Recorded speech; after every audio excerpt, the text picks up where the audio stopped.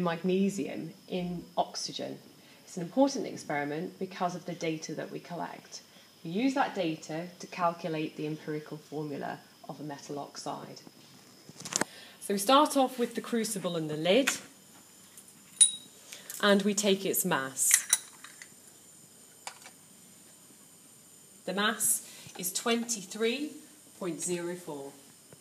Then we measured the mass of the crucible, the lid, and the magnesium. The magnesium has been rubbed with some sandpaper. The reason is to get rid of any oxide layer because that means that the magnesium wouldn't be pure. The mass of the crucible and the lid and the magnesium is 23.48. Those two pieces of information allow us to calculate the mass of magnesium, 4 grams. So we've got some of the information that we need to calculate the empirical formula. We've got the mass of the magnesium, but we also need the mass of the oxygen. So to do that, we need to find out the mass of the crucible, the lid, and the magnesium oxide. So we need to heat the magnesium in a crucible. We're going to use a roaring blue flame to heat the magnesium. Every so often you have to lift the lid to allow the oxygen in to react with the magnesium.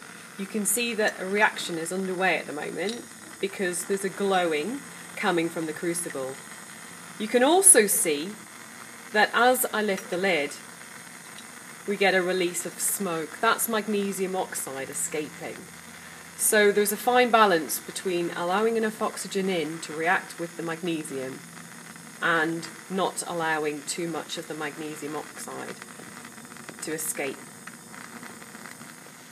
So the reactions come to an end. The reason I know is because there is no glowing and also no magnesium oxide smoke is being released.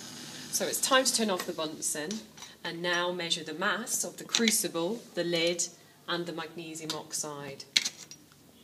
So I'm weighing that, that comes to 23.75.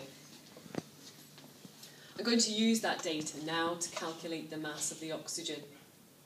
I know that the mass of the crucible lid and magnesium is 23.48. The mass of the crucible lid and magnesium oxide is 23.75. The only difference between these two is that this contains oxygen. So the difference of these two values will give me the mass of the oxygen.